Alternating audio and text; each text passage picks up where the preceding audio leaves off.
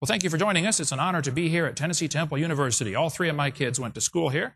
I almost went to school here, was registered and enrolled, and ended up going to Midwestern instead, Midwestern Baptist College. But it's good to be here in Chattanooga, Tennessee. I'm going to share with you this morning what we call the Hovind theory. What caused the flood in the days of Noah? I think Christians uh, better have a good answer to the skeptics and scoffers. If you do any kind of evangelism at all, if you try to win anybody to the Lord, you're going to run into people who have a big obstacle to overcome called evolution theory. They've all been taught for years and years and years that the earth is billions of years old. It took billions of years to form the different layers of geologic strata. And you're going to have to overcome all that if you're going to win them to the Lord. First thing a missionary has to do is learn the language so he can talk to the people he's trying to reach. And I think we as Christians better learn some of the language and be able to reach the people we're trying to reach in this community and around the world for that matter. Now, the Bible teaches the earth is about 6,000 years old, not billions of years old. If that's true, then we better explain some things. How do we get these giant canyons on Earth, like Grand Canyon, even canyons on Mars, bigger than Grand Canyon? How do we explain that? How do we explain the frozen mammoths, the big, huge, hairy, hippie elephants that are frozen, standing up, some of them? Where did all the water for the flood come from? Where did the water go after the flood was over? These are fair questions that the atheists are asking, and we better have an answer for them. Where does the Ice Age fit into the Bible? Why do kangaroos end up only in Australia? Where was the Garden of Eden? What did God do before the creation? I mean, there are thousands of questions that we as Christians are going to come up against as we deal with the lost, trying to bring them to Christ. It is my prayer that this session, our video number six of our series, The Hovind Theory, will give you an outline or a theory of world history that'll give you the skeleton to hang the meat on this is just a theory. I'm not particularly attached to any, any, any particular theories. If somebody finds something wrong, I'll change it, okay? But a lot of people have influenced this, and I, so far, after 16 years of speaking and teaching on this topic, have not found any serious flaws with the theory. So if you come up with some, please let me know. We're going to cover three main things today. The creation, which we covered earlier on seminar part two, just touch on that. The curse, God put a curse on the ground, and then the catastrophe, the flood. What caused the flood in the days of Noah. We start off with the creation. The Bible says, In the beginning, God created the heaven and the earth. Before the flood came, the Bible says the people lived to be over 900 years old. You realize you could learn a lot in 900 years? Many people have never even thought of this, but Adam spoke every language in the world. Because there was only one, okay? Uh, and he was married to the prettiest girl in the world, too, by the way. Um, Things were very different before the flood came. We cover all that on videotape number two of our series. So get that seminar too if you don't have that one. The Bible says in 2 Peter chapter 3, knowing this first, there shall come in the last days scoffers. Did you know there are people that scoff at the Bible? And the reason they scoff, it says, is because of their lust. They don't want God telling them what to do. That's the bottom line every single time. I've never seen an exception to that. After doing over 90 debates at universities and about 7,000 radio and TV call-in talk shows, I'm convinced the only reason people scoff at the scriptures is because of their lust. There's no scientific reason to reject the Bible, and there's no scientific reason to accept evolution. But they just don't like God telling them what to do. Bottom line. The scoffers are going to say, Where's the promise of his coming? For since the fathers fell asleep, all things continue as they were from the beginning of the creation. This is called the uniformitarian doctrine. Hey, the way things are happening now is the way they've always been happening. Long, slow, gradual processes. We cover more on that on videotape number four. The Bible says the scoffers are willingly ignorant. Willingly ignorant. In the Greek, that means dumb on purpose. The scoffers are willingly ignorant of how God made the heavens, and notice heaven is plural, and how the earth was standing in the water and out of the water. We cover more on that on videotape number two of our series, what the Garden of Eden was like. But the scoffers are ignorant of the creation, and they're ignorant of the flood. See, the world was overflowed with water and perished. The two things the scoffers are ignorant of are the creation, about 6,000 years ago, and the flood, about 4,400 years ago. They don't want to admit God created the world because that would mean He owns it and He makes the rules. And they don't want to admit there was a flood because that means He has the authority to judge His creation. And I think we as Christians better have a good understanding of what that creation was like and what that flood did to the world so we can understand how things are today and be better prepared to evangelize this world we're called on to reach. Now, the scoffers are also ignorant of the coming judgment. There's a judgment coming soon, folks, to a city near you. Well, the scoffers don't like the creation idea, they don't like the flood idea, and they sure don't like the coming judgment idea. But if we can get a good understanding on these three, I think we'll be more effective in our evangelism of this world. The Bible teaches the world was created about 6,000 years ago, and God made a perfect creation. Dinosaurs lived with Adam and Eve. It was a wonderful place. We cover that on Seminar 2. And then God put a curse on the ground because of their sin. The Lord said, Adam, where are you? He was hiding, of course, because of his sin. He said, Have you eaten of the tree that I commanded you should not eat of it? Adam's first response, God said, Adam, have you eaten of the tree? Adam says, The woman that you gave me, he tries to pass the buck, you know. Well, God, this is really your fault that I did this, you know, because if you hadn't given her to me, I wouldn't have this problem. And if you hadn't made her in the first place, we wouldn't have this problem. Everybody does that. Try to pass the buck, you know. Lord, uh, the woman that you made, in other words, God, it's her fault and your fault. But finally he confessed and says, Yes, I ate of the tree. And then he said to the woman, What have you done? And she said, Well, the serpent, implying that you made, tricked me, and I ate. She finally reluctantly confessed. And then God said to the serpent, You're going to be cursed and crawl on your belly all your life. He said to the woman, One of your curses is the man's going to rule over you. It's one of the curses, girls. The husband gets to be the boss, okay? And it is a curse in many cases, okay? Um, and to the man, he said, I'm going to curse the ground for your sake. Cursed is the ground for thy sake. This is a fascinating verse. God said, Adam, I'm going to curse the ground for your own good. It's good that the ground is cursed because now you have to work for a living. This is going to keep you busy. You're going to work all day. You're going to go home tired. What if, what if God provided everything for everybody all the time and you never had to work a moment in your life? All we do is sit around and think up ways to get in trouble. That's one of the problems with welfare. The Bible says God's welfare program is real simple. If you don't work, you don't eat. That was my welfare program with my kids growing up. You don't work, you don't eat. Plain and simple. It doesn't take long. They get their chores done. In the morning, you give them a list of things to do. You know, make your bed, uh, do your homework, blah, blah, blah. You sit down for supper. You all pray together. Lord bless the bunch as they crunch the lunch. Amen. And you look, oh, stop right before anybody eats. Let's see. Uh, notice, son, your bedroom's not clean. And daughter, your homework's not done. So you guys go finish that and come on back and eat when you're done. You only got to do that once to get their attention. You don't work, you don't eat. That's God's welfare program. But in America, we got a serious problem because we, we pay people to not work. And God said, Cursed is the ground for thy sake. Work is one of the best things for you. It's wonderful therapy. The Lord said, in the sweat of thy face thou shalt eat bread, and then you're going to return to the dust when it's over. You're going to die. Then along came the flood in the days of Noah. Genesis chapter 6. This is mostly what we're going to focus on today. God saw the wickedness of man was great in the earth, and the imagination of the thoughts of his heart was only evil continually. And repented the Lord that he had made man on the earth, and it grieved him at his heart. And the Lord said, I will destroy man, whom I have created from the face of the earth, both man and beast and creeping things, for it repenteth me that I have made them. And the earth was filled with violence. Everybody was wicked. And God said, That's it. Noah, go build a boat. And God said, Make thee an ark. And Noah said to his boys, Hey, boys, go for wood. We got to build a boat. And so they went and got all this wood and they built a big boat. And we cover more on that. People say, Oh, wait a minute, wait, hold it. Why would God make a flood for the whole world? Why not just kill all the bad people? Isn't that kind of cruel to destroy the whole world? I mean, after all, the penguins didn't sin. Well, no, God destroyed the whole world. I think there are some things to consider about this flood. Number one, the flood left evidence where a miracle would not.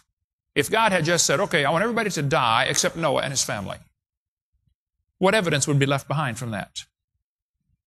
The effects are here today for us to see and remember the judgment of God on sin. Plus, by God telling Noah to build the boat, it gave everybody warning time. Here's Noah out there probably for who knows how long. Some people say seven years. Some people say 120 years. The Bible doesn't say. But Noah's building this ark for a long time. People are watching him put this big boat together and said, man, Noah, are you crazy? What are you doing? He says, man, it's going to rain. Now keep in mind, it probably, I don't think you could prove this dogmatically, but it probably never rained before the flood came. So Noah was preaching about something that had never happened. He said, hey guys, guess what? Rain is going to fall out of the sky. Everybody's looking around saying, yeah, right. That's never happened. They thought he was nuts. Hey, we're doing the same thing today as Christians. We're going around saying, hey, one of these days, an angel is going to come down with the Lord, and they're going to come to the clouds and blow a trumpet, and the Southern Baptists rise first, you know, the dead in Christ go first, and then the rest of us are going to take off for heaven. And everybody's looking at us saying, yeah, right. Nobody's ever heard a trumpet blow from a cloud and saw people take off for the clouds. I mean, that's just never happened. We're preaching that something's going to happen that has never happened in the history of humanity. That's what Noah was doing. He was preaching something's going to happen, and what he's preaching about had never happened. So while he's preaching, this gave people a chance to repent. People say, wait a minute, how could the world flood? Could it rain enough to cover Mount Everest? I was in a debate one time, and this skeptic stood up and he said, Hovind, do you realize when it rains, it releases heat into the atmosphere? I said, Yes, sir. I taught physics. It's called the latent heat of condensation. What's your question? He said, Well, if it rained enough to cover Mount Everest, the heat would cook the entire world. I said, You are exactly right. He said, But don't you think it rained enough to cover Mount Everest? I said, No, I've never said that. He said, Well, do you think Mount Everest was covered? I said, Well, I don't think Mount Everest was there. I don't think the mountains even formed till late in the flood. The Bible covers that in Psalm 104. We'll get into that later when we talk about the mountain ranges forming on this planet. But no, I don't think it rained enough to cover Mount Everest. I don't know any Christians that teach that. I think what happened was the whole world was covered with water, but the water didn't come from rain. Very little water for the flood came from rain. So they build up this straw man that if it rained enough to cover Mount Everest, it would cook the world, and that's correct, but it's an artificial argument. That's not where the water came from. There are several theories about what caused the flood in the days of Noah. I'm going to share with you my theory in a few minutes, the Hovind theory of what may have caused it. We call it that because I don't want anybody else to have to take the blame for it if it's wrong. I will take the blame if it's wrong. And this will not be super evangelistic. It's just a matter of giving you some scientific evidence to put things together in your mind and say, wow, maybe that's what happened. And give you an answer to some of the skeptics and scoffers and atheists. But we need to understand a couple things. The original creation was very different. The Bible says there was not only the earth, but there was water in the crust of the earth, under the crust of the earth, actually. Psalm 24 says, The earth is the Lord's, He founded it upon the seas. That's an interesting verse. The earth was built on top of the water. Psalm 133, He gathereth the waters of the sea together as an heap, He layeth up the depth in storehouses. What today is in the oceans on the surface used to be in the crust of the earth, stored up in big subterranean chambers. Psalm 136, He stretched out the earth above the waters. Better read that verse very carefully. That's given us a powerful clue of what the original creation was like. And then the fountains of the deep broke open. The water that used to be in the crust went shooting to the surface when the fountains of the deep broke open. The Bible says in Job 38, Who shut up the sea with doors when it brake forth, when it issued out of the womb? Well, I tell you what, if you've never seen a baby born, when the water comes breaking out of the womb, it is an amazing process. One of my friends was in college. His wife was standing there, cooking breakfast at the kitchen, uh, kitchen in the kitchen, and her water broke, just like she wet her pants all over the floor. Her husband came running in. What happened? What happened? He slipped and broke his arm, and she had to drive him to the hospital and get his arm set. What a mess when babies are born. I delivered one of my kids at home, and when the water issues out of the womb, it is a royal mess. And the God, and he's telling us here in the book of Job, God is talking here in chapter 38. Uh, when the water issued out of the earth, it just burst out of the earth. And break, uh, it says, and goes on and says, and break up for it my decreed place, and set bars and doors, and said, Hitherto shalt thou come, but no further, and here shall thy proud waves be stayed. I believe the earth broke up at the time of the flood, and we still have the scars all over the planet where this happened. They're called fault lines. I lived right by the San Andreas Fault. I've studied the Hayward Fault, the New Madrid Fault, the Golden Fault. None of them are my fault, but I've studied them, okay? There's no question the earth is busted up into plates, and there's no question these plates are moving. And when they move, it causes tsunamis and earthquakes and volcanoes. There's no question that stuff happens. The question is, when did this happen to the earth? I think it happened about 4,400 400 years ago at the very beginning of the flood. And evolutionists will say, so, well, don't you see that's proof of Pangea? These continents fit together. Can't you see how South America and Africa seem to be a fit? Well, yeah, now hold on a minute. How many have ever heard of Pangea? They teach us in the textbooks like some kind of fact, you know, all the continents used to fit together. I say, guys, now wait a minute. There's a couple things you ought to consider about this Pangea theory before you get too excited. First of all, they'll say South America and Africa seem to fit. Yeah, my house and the neighbor's house would fit too if you slid them together. What does that prove? Nothing. it doesn't prove the street oozed up in between them and the houses slid apart, okay? It's a pure coincidence. The shape of these continents is an absolute pure coincidence based upon the water level. The evidence they use for continental drift is interesting. They'll say the shapes of the continents seem to fit. Similar fossils are found in opposite sides of the ocean. Well, that may be true. But it's also true those same fossils are found literally all over the world. Those fossils found all over the world is just as much evidence of a flood. I mean, a worldwide flood, how far could the dead animals float around? Uh, quite a ways, right? And then they'll say there are magnetic reversals in the mid-Atlantic ridge. Well, now hold on a minute. They don't tell you they shrank Africa nearly 35 or 40 percent to make them fit, do they? They don't tell you that Mexico and Central America are gone. Hey, señor, ¿qué pasa? ¿Dónde está Mexico, Panama, Costa Rica, Guatemala? They don't tell you that Europe and South America were rotated counterclockwise and Africa was rotated clockwise to make them fit. And they also don't tell you what I think ought to be obvious to a kindergartner. Did you know if you took the water out of the oceans, you would notice there is dirt underneath? I mean, the oceans actually have a bottom to them. How many knew that already? Okay. I mean, they, they do have a bottom. Okay. So people say, do you think the earth was ever, the continents were ever connected? I say, well, duh, they're still connected right now. What do you mean, were they connected? Hello, they're still connected. They've always been connected. The earth has a crust. Now, the low places are full of water, I understand, okay? But textbooks say, well, yes, there are magnetic reversals at the bottom of this mid-Atlantic ridge. Well, that's simply baloney, okay? There are no reversed polarity areas unless it's where rocks flipped over when the fountains of the deep broke open. That may have happened in some areas. But this, this is a lie talking about magnetic reversals. Even uh, one author wrote in a book, uh, uh, Deep Crustal Drilling in the North Atlantic Ocean, Science Magazine, volume 204, he said, it's clear the simple model of uniformly magnetized crustal blocks of alternating polarity does not represent reality. What they show you in your textbooks is not reality. Now, Walt Brown has a great book called In the Beginning. I disagree with Walt Brown on a couple of key things, and he's a friend of mine and a brilliant man. PhD in uh, physics, taught at the Air Force Academy for years, has a website, creationscience.com. But I highly recommend his book in spite of our minor disagreements. He's got some great stuff on here on magnetic reversals. No, there are no magnetic reversals, only stronger and weaker magnetism. It's actually a jumbled up mess down there at the mid-Atlantic ridge. See, the Earth has lost 10% of its magnetic strength in the last 150 years. It's lost 40% of its strength in the last thousand years. It's pretty overwhelming evidence that the Earth's magnetic field is getting weaker. What does that mean? Well, that means it used to be stronger. And if the Earth's magnetic field is getting weaker, this creates a problem because if you go back in time about 25,000 years, the magnetic strength would have been too great for life to exist here because of the heat generated. And so the evolutionists have to find an answer for the problem. Hey, we're watching the magnetic field decline, so it must be going through reversals.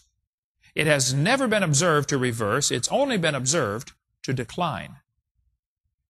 I think Walt Brown has the best theory on continental drift. Let me play this for you real quickly. This is the what's called the hydroplate theory by Dr. Brown. To me, it answers a lot of questions. We can see on our planet 17 very strange features that can now be systematically explained as a result of a cataclysmic global flood whose waters erupted from subterranean chambers with an energy release exceeding the explosion of 10 billion hydrogen bombs. This explanation shows us just how rapidly major mountains formed. It explains the coal and oil deposits, rapid continental drift, why ocean floors have huge trenches and hundreds of canyons and volcanoes. It explains the formation of the layered strata and most of the fossil record, the so-called ice ages, and major land canyons, especially the Grand Canyon. The pre-flood Earth probably had one very large supercontinent containing lush vegetation, seas, rivers, and minor mountains. According to the hydroplate theory, the pre-flood Earth had a lot of subterranean water, about half of what is now in our oceans. This water was in interconnected chambers forming a thin spherical shell, about half a mile thick, perhaps 10 miles below the Earth's surface. Increasing pressure in the subterranean water chamber stretched the overlying crust just as a balloon stretches when the pressure inside increases. Failure in the crust began with a microscopic crack, which grew in both directions at about three miles per second. The crack, following the path of least resistance, encircled the globe in about two hours. As the crack raced around the Earth, the overlying crust opened up like a rip in a tightly stretched cloth.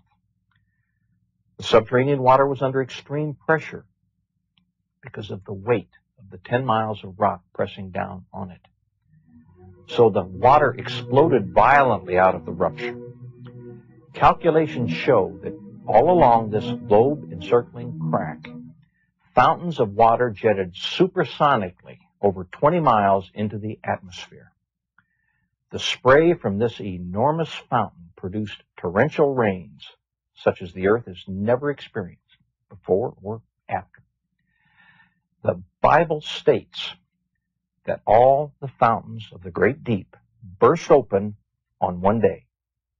And it describes these events about four and a half thousand years ago, which we can now tie together scientifically in cause and effect order as the hydroplate theory. The fountains of the great deep and the expanding steam produced violent winds, some of the water jetting high above the cold stratosphere, froze into supercooled ice crystals and produced some massive ice dumps, burying, suffocating, and instantly freezing many animals. The high pressure fountains eroded rock on both sides of the crack and even threw up the limy contents of many pre-flood seas. Huge volumes of sediments settled out of this muddy water all over the earth. These sediments trapped and buried plants and animals, forming the fossil record. The flooding uprooted vegetation, moving it to regions where it accumulated and quickly became coal and oil by processes we can duplicate in the laboratory today. Experiments show that as erosion widened the rupture, its width became so great that the compressed rock beneath the subterranean chamber sprung upward, giving birth to the mid-oceanic ridge that wraps around the earth like the seam of a baseball. The continental plates, the hydroplates, still with lubricating water beneath them, slid downhill away from the rising mid-Atlantic ridge. After the massive, slowly accelerating continental plates reached speeds of about 45 miles an hour. They ran into resistances, compressed, crushed, thickened, and buckled. The portions of the hydroplates that buckled up formed mountains. Those that buckled down formed ocean trenches. This is why these features are generally parallel to the oceanic ridges from which they slid. The hydroplates, in sliding away from the oceanic ridges, opened up very deep ocean basins into which the floodwaters retreated. Every continental basin was naturally left brimful of water, producing many post-flood lakes. Each lake that grew from rainfall or drainage from higher elevations spilled over its rim at the lowest point of the rim. That eroded a little notch in the rim allowing even more water to flow through the notch faster, cutting the soft flood deposited sediments even deeper. This process accelerated until all the lake's water dumped through a very deep slit, forming a canyon. The largest of these was the Grand Canyon. North and east of the Grand Canyon was a huge lake that I have identified and named Grand Lake. Its dumping released more water than is in all five of the Great Lakes combined. Grand Lake spilled over its rim, eroded its dam, 20 miles south of Page, Arizona, catastrophically forming the Grand Canyon within a few weeks. There. That is uh, Walt Brown's hydroplate theory, which to me makes the most sense of anything I've seen explain several things. If the crack uh, would widen around the mid-Atlantic ridge as the water is shooting out, it's going to spread out, allowing the basalt underneath to bulge up, which is precisely what happens. As the basalt bulges up, it's going to get cracks in it, and it's also going to slide the superimposing uh, plates away from them.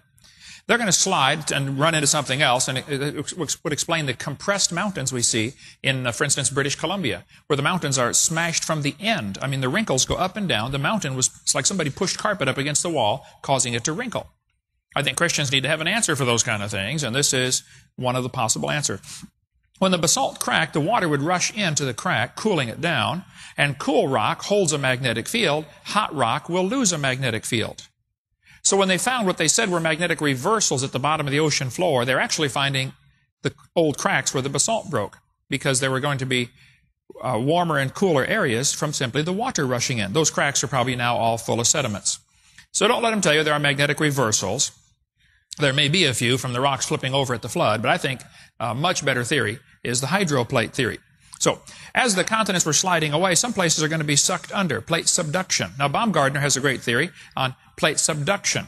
I think his ties in here also, that uh, the plates would tend to be sucked down. You ever stir pudding up and it gets a film on top? If you push in on the film on the pudding, it'll sink to the bottom and drag the rest of it with it. Magma does the same thing from a volcano. When it cools down, the lava gets a hard crust, and then if you if it sinks in one place, it'll drag a whole sheet of magma of lava with it. This probably happened also during the flood. See, the continents are eroding. When it rains, you have landslides, mudslides, erosion, mass wasting, ground creep. All of those things are happening continually. Like last night in the thunderstorm here. I'm sure a lot of erosion took place around Chattanooga. Well, this mud is going to wash into the ocean. So two things are happening. The mountains are getting shorter. The oceans are filling in. But at the current rate of erosion, the continents are going to erode flat in 14 million years. So the evolutionists have a serious problem. They have to explain two things. Why aren't the oceans full of mud? Because there's only a few thousand years worth of mud in the oceans. And why haven't the mountains eroded away yet? That's why this Pangea theory is so important to them, because they can say, oh, it's being recycled.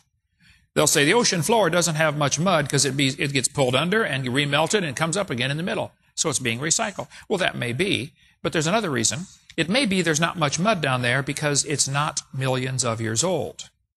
Plates are moving, there's not much question about that. But that doesn't prove they've always been moving, and it doesn't prove the rate has always been the same as we see today. I think students should be told there are other options than what they're being taught in school. Now, I live right by Interstate 10 in Pensacola, Florida. Interstate 10 runs all the way from Los Angeles to Jacksonville, Florida. If I see somebody headed east on Interstate 10 at 70 miles an hour, does that prove they started in Los Angeles four days ago?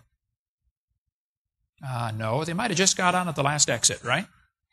And just because we see these continents moving a little bit today does not prove anything long term historically.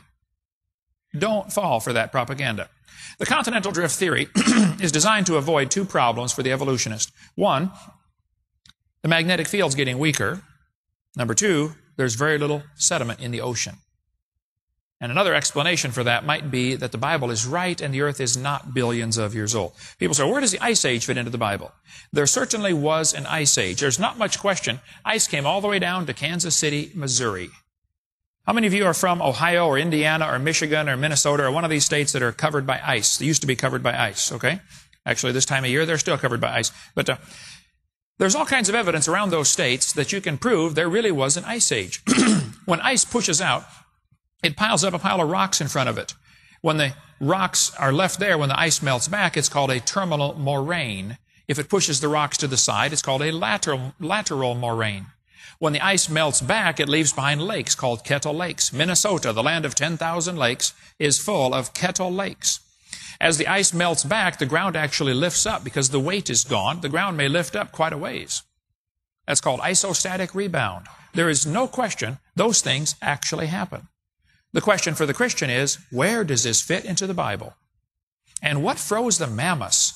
Some of the big, hairy, hippie elephants that are found frozen standing up, food still in their teeth. What happened to the mammoths?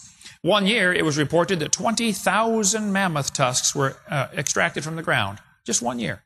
20,000 tusks. Estimates are that 5 million mammoths perished in one catastrophe. These red dots indicate where frozen mammoths have been found. The yellow dots indicate where frozen rhinoceros have been found. What happened to the mammoths? Well, some of the mammoths are frozen in the upright position. Their undigested food in their stomach and mouth is an interesting situation. They died of suffocation. There's no water found in the lungs. The small ice crystals in the blood indicate they probably froze in less than five hours. That requires something less than 300 below zero. Now, it never gets 300 below zero on Earth. The coldest temperature ever recorded from National Pornographic a geographic, is minus 127 degrees. That's pretty chilly. But that's not cold enough to freeze the mammoths. What happened to freeze the mammoths? In 1999, I was uh, preaching in Alaska, and I took the little tour on the to out on a boat to see the Portage Glacier. And I'm standing next to this guy on the boat. I got talking to him, trying to witness to him. I said, "What do you do for a living?" He said, "Well, I drill for oil in Barrow, Alaska, near Barrow, Alaska." I said, "Well, when you drill down, do you find anything interesting down there?" He said, You wouldn't believe the stuff we drill into down there. He said, Just a few months ago, we were drilling down. We drilled through 1,000 feet of permanently frozen ground called permafrost, and we started bringing up pieces of wood. And we always take whatever comes out of the well and lay it out on the ground so we can get a sample, a core sample of what we're drilling through to know the formation. He said, We drilled straight through a tree that was standing up. The tree was 300 feet tall, standing up under a thousand feet of permanently frozen ground. Well, I preached in Barrow, Alaska a couple years ago.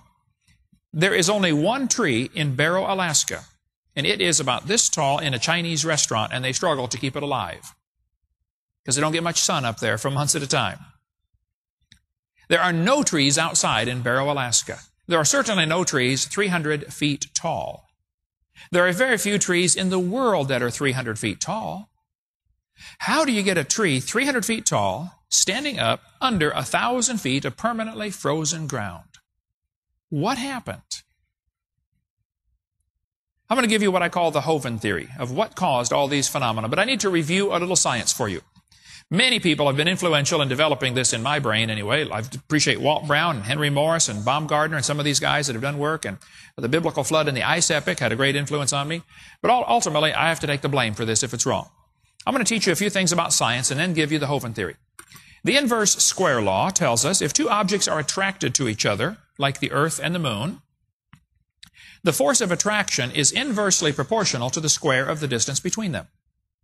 In English, that means if you half the distance, or if you brought the moon into one third the distance, you take the one third, flip it over, and square it. It's, one, it's now nine times the gravitational pull. Inverse square laws apply when you're dealing with forces involving gravity, light, magnetism, and girls. I travel every single week. I believe I've been home eight Sundays in 14 years. I flew 215 times last year, was gone 210 days away from home. So I get to come home every week. When I get a certain distance from my wife, it's hello, dear, how are you doing? When you half the distance, it is four times the attraction, not two. Four times the attraction. When you half the distance again, it is too late. So guys, the secret is stay about 10 feet away and you won't have a problem, okay? Now, the inverse square law is one thing to learn. The second thing you need to learn is a spinning top, any spinning object, behaves in a peculiar way if it is struck by something. If you throw a rock at a spinning top, it'll wobble around for a while, or you can do it with a gyroscope and it'll wobble around, and then it'll, it'll recover spinning smoothly, usually at some new crazy angle. You can actually d- determine when it was struck if you could see a graph of a wavy line of how it behaved as it was wobbling. Interesting. The Earth has no doubt wobbled through the years. The North Pole has moved around. Today, the Earth is tilted over 23 and a half degrees, which is why they always mount the globe on that 23 and a half degree angle. Stonehenge is an interesting uh, stone building. Apparently, it was built to worship the sun at summer solstice. But today, Stonehenge does not line up. The temple Amun Ra was also apparently built to worship the sun at summer solstice, the longest day of the year, but it doesn't line up. Edexus, same thing. The earth is tilted over today, and that's what causes the seasons. Uh, usually on June 21st, occasionally on June 20th, but usually June 21st, it's the longest day of the year because the earth is tilted, in, in our case with the northern hemisphere, we're tilted toward the sun. So we get more sunlight. And the North Pole gets pure sunlight all the time, 24 hours. George Dodwell, the famous Australian astronomer, did a lot of study of the shadows, of the solstice shadows recorded by ancient astronomers. He said, You know, it looks to me like something struck the earth. When he followed the wavy line made of the solstice shadows, he said something struck the earth about 4,350 years ago and caused the earth to wobble for several thousand years. Today the earth is pretty stable. The earth's north pole doesn't move around very much. But could it be that something actually struck planet earth about the time of Noah's flood? Now that's what the scientific evidence points toward. Interesting. Today the earth is tilted over and that's what causes the seasons. The first mention of cold weather in the Bible is in Genesis chapter 8, after the flood. I doubt they had huge polar ice caps before the flood came. I drove, flew up as far as we could fly in Canada and then drove two hours north of that, way up into central Saskatchewan. We were only right about here. There's a whole lot of earth above us, but they said this is about the limit of, of habitable, uh, uh, habitable land where you can actually do farming, because north of here, the seasons are too harsh. You can't do any farming. There is a huge chunk of planet Earth, north and south, near the poles, that is simply unusable for farmland. Now, the Bible says God formed the world to be inhabited. I don't think what we have today is anything similar to what Adam and Eve saw. Next thing you need to, need to keep in mind the moon has craters on it, but we never see the moon get struck by anything. Where did these craters come from on the moon? Even Mercury has craters on it. Where did these craters come from? Mars has a canyon much larger than Grand Canyon. When the scientists studied this canyon on Mars, they said, wow, this canyon formed in a matter of weeks. Because they say there was melting water in one of the craters, it overflowed the rim and washed out this canyon very, very quickly. Well, duh. Why can they see a canyon on Mars where we can't find any water for sure and say this thing formed quickly? And you can look at Grand Canyon on planet Earth and can't conclude that water formed that canyon very quickly. I don't understand the stupidity involved here. Looks to me like you ought to be able to see that. As a ridge at the edge of the crater gave way and this canyon formed in a matter of months, certainly less than a year, said one of the scientists. Next thing to keep in mind. It's called the Meissner effect. How many have ever seen two magnets? You put them together and the one will float on top of the other one. You know what I'm talking about here? It's called the Meissner effect. That's how the Japanese trains go. We rode on one of those trains when I was in Japan. Man, they go flying down the tracks with magnetic levitation. No uh, resistance that way, no friction. Next thing to keep in mind, there are comets flying around through space, and these comets are extremely cold. 300 to 400 below zero Fahrenheit. Don't lick it. I need to find out if any of you are or were as dumb as I was as a kid. How many of you have a piece of your tongue stuck to a pump handle or a flagpole someplace on planet Earth right now because you licked, you licked it when it was cold? Come on now, be honest. Put your hand up. Okay, there's several. All right. Don't lick something 300 below zero. Trust me on that one. Okay, that'll be the last thing you lick for a while. If you throw a snowball too fast, it'll break apart. You couldn't possibly shoot a snowball out of a cannon if you did, it would simply break apart in pieces before it even got out the end of the barrel. So a super cold ice meteor, if it were coming toward the Earth, would build up speed because of the inverse square law. As it got going faster and faster, it would break up out in space into a bazillion little ice crystals. Those would then shower down on the Earth as super cold snow. Next thing you need to keep in mind, the Earth has a very strong magnetic field, but it's getting weaker. At the time of the flood, it was probably about 15 to 20 times stronger than it is today. The magnetic field is weakening. The magnetic field would deflect supercold ice crystals to the poles, most of them. Also, supercold ice is easily statically charged.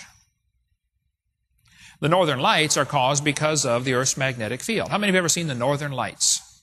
Unbelievably gorgeous. If you've never seen them, it's worth just get up there. So I've seen them in South Dakota and up in Canada. Unbelievably beautiful. The northern lights are, are something to worth seeing. Anyway, the pre-flood world was very different. The world probably had a canopy of ice or water above the atmosphere. We cover that on video two. Now, there are some creationists, including Walt Brown, who disagree. They say there was no canopy. And I think the arguments they use can be easily answered. And I'd be glad to discuss that if you'd like more. Next thing to keep in mind. Who on earth was Peleg?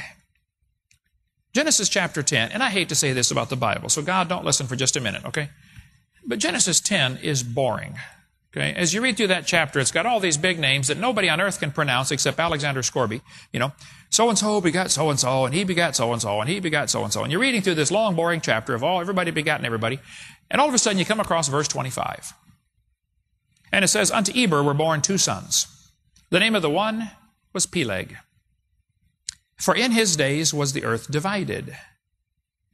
And his brother's name was Joktan. Well, now hold on a minute.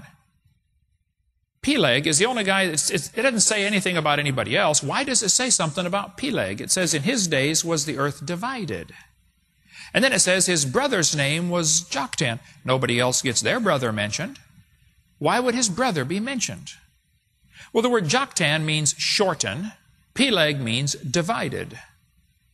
Peleg was born about 100 years after the flood. Notice he only lived to be 239. His daddy and grandpa and great grandpa lived into their 400s. What was different? What happened in the days of Peleg? Next thing you need to keep in mind the pre flood world had a canopy of water above and water under the crust of the earth. Okay? Now, I made a decision years ago as a new Christian.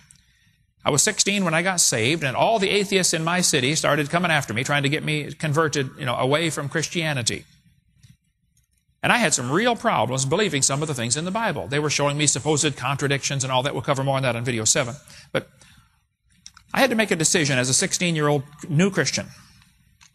I said, Lord, I, am going to believe your book until somebody can prove it's wrong. Some of my friends decided they're going to doubt the Bible until it's proven right. I think that's a mistake. I think I made the right decision. I said, God, I'm going to believe you even for the things I don't understand. And he's proven himself on just about every one of them. There's a couple I still got questions about. There was an atheist one time came to the preacher and said, Preacher, I don't believe anything in the Bible. I only believe science. He said, Preacher, if you can prove one verse out of the Bible scientifically, I'll believe it. The preacher said, Well, okay. He grabbed the atheist around the neck, grabbed his nose, and began twisting his nose. Pretty soon, of course, the blood is pouring down his face, and the atheist said, What on earth are you doing? He said, I'm proving the Bible. It says the wringing of the nose bringeth forth blood. I don't recommend you do that unless you get a really hardcore atheist, then you might want to try that one. But uh, I'm going to give you the Hovind theory. Now, this is supposed to be good teaching technique. I'm going to tell you what I'm going to tell you, and then I'm going to tell you, and then I'm going to tell you what I told you. You get all that? We're going to go through it very quickly, eight simple steps of what I think caused the flood, and explain all these strange phenomena on the planet. Then we'll go into them in a little bit more detail, and then we'll close this down. Noah and the animals got safely into the ark. A 300 degree below zero ice meteor came flying toward the earth and broke up in space. As it was breaking up, some of the fragments got caught and became the rings around the planets. They became, made the craters on the moon, the craters on some of the planets, and what was left over came down and splattered on top of the North and South Pole. The super cold snow fell on the poles mostly, burying the mammoths standing up. The dump of ice on the North and South Pole cracked the crust of the Earth, releasing the fountains of the deep. The spreading ice caused the ice age effects, the glacier effects that we see. It buried the mammoths, made the Earth wobble around for a few thousand years. And it made the canopy collapse that used to protect the Earth and opened up the fountains of the deep. During the first few months of the flood, the dead animals would settle out and dead plants and get buried. They would become coal if they're plants and oil if they're animals. And those are still found today in huge graveyards. Fossils found in graveyards, oil found in big pockets under the ground. During the last few months of the flood, the unstable plates of the earth would shift around. Some places lift up, other places sink down. That's going to form ocean basins and mountain ranges. And the runoff would cause incredible erosion, like Grand Canyon, in a couple of weeks. Over the next few hundred years, the ice caps would slowly melt back, retreating to their current size. The added water from the ice melt would raise the ocean level, creating what's called a continental shelf. It would also absorb carbon dioxide out of the atmosphere, which allows more radiation to get in, which is going to shorten people's lifespans. And in the days of Peleg, it finally took effect. The earth still today shows the effects of this devastating flood. Now, a little more detail on each one. God told Noah, Lord said to Noah, Come thou did you catch that? Listen very carefully. What did God tell Noah to do? He told him to come into the ark. He didn't say go into the ark. He said, Come into the ark. Where does God have to be in order to say that? In the ark. That'll preach, brother. There's a sermon right there, just right there. Come into the ark, Noah. Come with me. We're going on a little cruise. Come on in. I'm here with you. And when the flood was over, God said to Noah, Go out of the ark. God was with him the whole time. That would be quite the cruise. And the Lord shut the door. By the way, good eternal security verse. If the Lord's got you saved, you're saved, okay? You can't get out of God's hand. Then this 300 degree below zero ice meteor came flying through the solar system. Some of it broke apart. It made craters on Mercury, and craters on the moon. Four of the planets today still have rings around them. And the rings around these planets are made of rock and ice. Very interesting. Now, Walt Brown thinks some of the craters on the moon were formed when the fountains of the deep broke open and rocks went flying up out of Earth's gravitational pull, drifted around for a while, and clobbered into the moon. He may be right on that, I don't know. But it's interesting. He thinks the comets came from Earth, and water on Mars came from Earth when the fountains of the deep broke open. You could read about it for yourself if you'd like. The super cold snow would land mostly around the poles. Because super cold ice is not only affected by the magnetic field, it's affected by, it's easily statically charged. How many have seen the Van de Graaff generator where they make your hair stand up? You know, we've got one of those at our science center at Dinosaur Adventureland.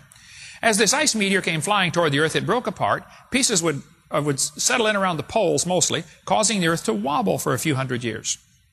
Or maybe even a few thousand years.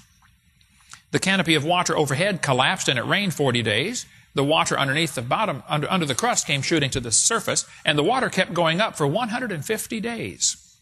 And everybody drowned. It probably took six or eight months to kill everybody during that flood. We all get the idea, well, it rained, and everybody died first day. No, it took a long time for people to die. People would be running and fighting for higher ground. As that got more and more rare, as the water keeps coming up and up and up, for 150 days, the water increased. By the way, they're still discovering chunks of ice flying around in space. Here's an article about a scientist who discovered chunks of ice as big as this auditorium are hitting the Earth all the time. They dissolve in space, but it, rain, it rains down as water. There's water, water everywhere in space. Scientific and technology article here. If you go to the North Pole, you'll be kind of chilly, and one of only 400 people that have ever been there. But up around the North Pole, there's an ocean called the Arctic Ocean.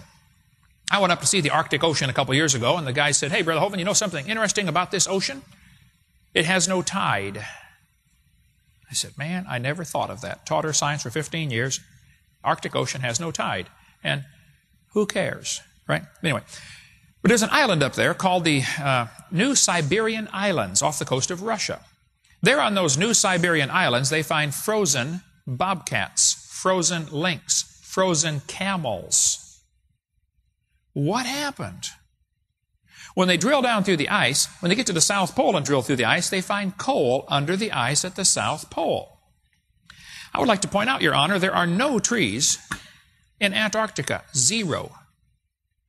Admiral Byrd went down there and said they saw frozen palm trees or palm leaves near the South Pole. Scientists have discovered all sorts of frozen leaves, even dinosaur fossils, plant eating dinosaurs, near the South Pole. Thousands of well preserved leaves found in Antarctica. Leaves on the side of a cliff 250 miles from the South Pole. And the leaves still retain their original cellular structure and organic content. They're not petrified, they're preserved. They find dinosaurs, plant eating dinosaurs, in northern Alaska. There are no trees up there. I was there. there. Nothing. Not a blade of grass in most places. See, the Earth actually has two North Poles. We have a geographic North Pole where we spin around. We also have a magnetic North Pole in Canada where we actually, the compass actually points.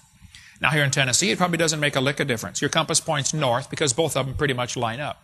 But if you live in Alaska, your magnetic north is way different than the real north, and pilots have to learn to adjust for that. And who cares, right? Okay. I think what happened, the mammoths were up there chomping on their tropical flowers. It was a beautiful day and it began to snow, super cold snow. They had never seen snow before. One of the mammoths looked at his buddy and he said, Herman, this is peculiar weather we're having here. What is this white stuff falling out of the sky? I said, I don't know, but let's get out of here. They started running around trying to find a place to hide, and the snow got deeper and deeper and deeper, and they got stuck in the snow standing up, and they couldn't even fall down. How many of you have ever been in a snowdrift so deep you couldn't even fall over? You ever been in one of those? I think that's what happened to the mammoths. People say, well, the mammoths have long hair. They're designed for cold weather. Uh, no, mammoths are not designed for cold weather. A lot of animals in the jungle have long hair where it's hot, okay? If the temperature is 70 degrees, long hair is just simply a decoration. It's neither, there's a lot of things about the mammoth that shows they are not designed for cold weather. There's a whole section just in this book about mammoths are not designed for cold weather. You can read all about that. So, the mammoths, some of them, ended up frozen standing up in super cold ice, 300 below zero. As the ice goes pushing out toward the equator, it's going to carve out glacial grooves.